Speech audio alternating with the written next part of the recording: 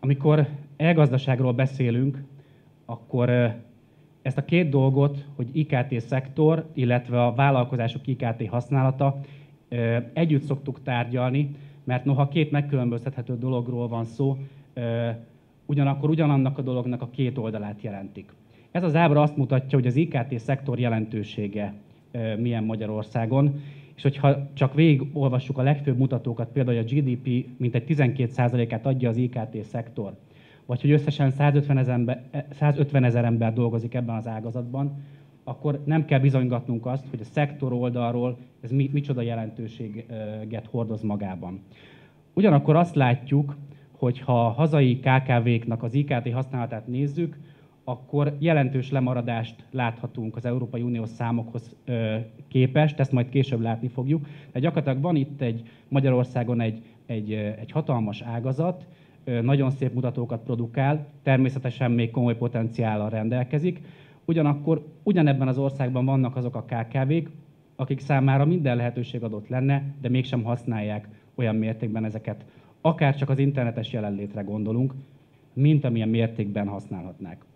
Hát úgy gondoljuk, hogy az államnak mindenképpen a természetes piaci fejlődésen túl aktív eszközökkel kell elősegíteni az IKT eszközök használatát. Tehát pénzt kell ráadni, tudatosítást, motivációs programokat kell indítani, mert a versenyképességnek alapvető feltétele nem csak globálisan, hanem az egyes KKV-k szintjén is az IKT használat. Hát e-gazdaságról szűkebb értelemben akkor beszélünk, amikor a KKV-knak a tudása, eszközhasználata mennyire, mennyire él azokkal az eszközökkel, amit az IKT adhat. IKT iparról pedig akkor, amikor ezt a bizonyos első dián látott rendkívül ö, nagy potenciállal rendelkező szektorról beszélünk. Egy McKinsey felmérés 2012-es adat azt mutatja, hogy a fejlődő országok közül Magyarország, itt nem csak a fejlődő országok vannak feltüntetve, de a fejlődő országok közül Magyarország esetében az internet hozzájárulása a GDP-hez 3,9%, és ezzel a felmérésben a legjobb mutatót kapta. Ez azt jelenti, hogy az internet hatás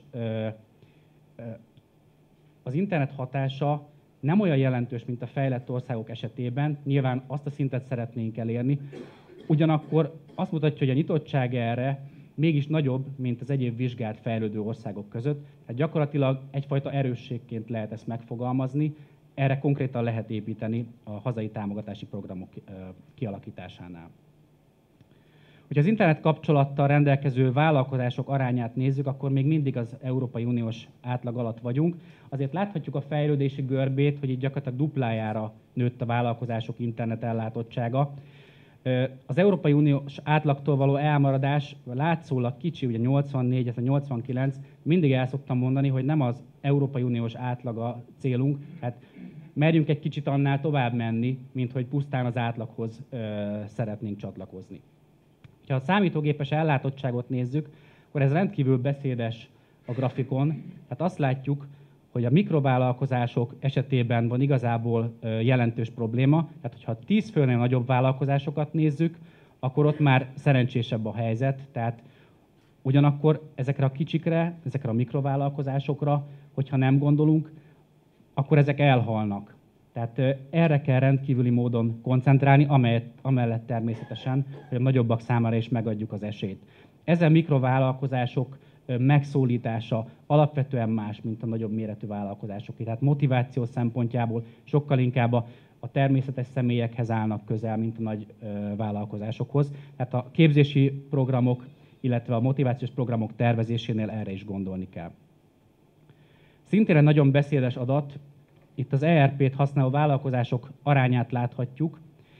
Gyakorlatilag az Európai Uniós átlagtól ez jelentősen elmarad. 26,5% helyett 13%-ot láthatunk. Tehát még egy kétszeres növekedés sem volt 2007-hez képest, de azt gondolom, hogy még, még súlyosabb az a e, mutató, hogy ilyen mértékű a lemaradás, még az átlaghoz képest is. Az elektronikus értékesítés és bevétel arányában mondhatjuk el, hogy tulajdonképpen az Európai Uniós átlagot meghaladjuk. A vállalkozások arányában megnézzük az online vásárló, értékesítő és honlappal rendelkező vállalkozások arányát, akkor csak egyet emelnék itt a honlappal rendelkező vállalkozás. Azt gondolom, ez egy alapvető dolog. Az internetes jelenlét az még azon vállalkozások esetében is alapvető fontosságú, amelyek a rendkívül összetett, integrált alkalmazásokat ö, még nem használják, mert akár, akár a fejlődésüknek ebben a fázisában még nincs is rá szükségük. Itt azért ez a 60 százalék a 72, illetve a legjobb adatot produkáló Finnországhoz képest, azért ez, ez megdöbbentő. És igazából ugye egy honlapnak a költsége az azt mutatja, hogy itt, itt nem alapvetően anyagi korlátokról van szó, hanem motivációs, kognitív akadályokról, nem tudja, hogy miért fontos ez neki, nem ismeri fel ennek a jelentőségét. Azt gondolom, hogy egy kamarának a kormányzattal együtt az alapvető feladata, hogy ért, értsd meg, lásd meg, hogy miért fontos ez neked, és akkor még akár támogatás nélkül is meg tudjuk lépni az első szintet, természetesen támogatásokkal ennél jóval könnyebb. Figyelnünk kell a támogatási programok tervezésénél az aktuális IKT trendekre. Tehát semmiképpen sem azt szeretnénk, hogyha a kormányzat egy elefántcsont toronyból elgondolná, hogy milyen a, miről szól éppen az informatika, és mindent megpróbálna részletesen leszabályozni. Tehát azt gondolom, hogy a felhő szolgáltatásra, vagy a big data-ra, a közösségi hálózatokra ugyanúgy reagálnia kell, amikor támogatási programot alakít ki, vagy akár a mobil alkalmazás, vagy a mobil eszközöknek az alacsony elterjedtsége az informatikai alkalmazásoknál az előbb elhangzott. Azt gondolom, hogy, hogy egyre több a lehetőség, egyre több a, az igazi hozzáadott értéket tartalmazó megoldásoknak az aránya jelenléte. Mindenképpen ezt a kormányzatnak is el kell juttatni a vállalkozásokhoz, illetve, ugye, ahogy említettem, a kamara bevonásával megmutatni, hogy miről szólnak ezek az alkalmazások. Egyébként ugye most, a, amikor lemennek ezek a, a, az, el, az előadások első köre, akkor láthatunk is konkrét megoldásokat, tehát az igazán izgalmas azt gondolom az lesz, amikor az adott vállalkozások eldönthetik, vagy megízlelhetik, hogy egy-egy megoldás az milyen hasznot hozhat a számukra. A Nemzeti Infokommunikációs Stratégia pillérei közül, hogy a digitális gazdaságról beszélek most, csak felvillantanám a digitális állam, digitális kompetencia és digitális infrastruktúra pilléreket. Az a legfontosabb ezen pillérek tekintetében, hogyha bármelyiket hagyjuk elsorvadni, vagy kevésbé komoly hangsúlyt fektetünk rá, akkor az egész digitális ökoszisztéma nem tud létezni. A kormányzatnak ez a négy éve azt gondolom, hogy digitális infrastruktúra területén adott nagyon sokat. A digitális kompetencia, digitális állam, digitális gazdaság lesz az, amire az eddiginél jóval nagyobb hangsúlyt kell fektetni, az a terület, és ez mindenképpen a versenyképesség alapvető záloga.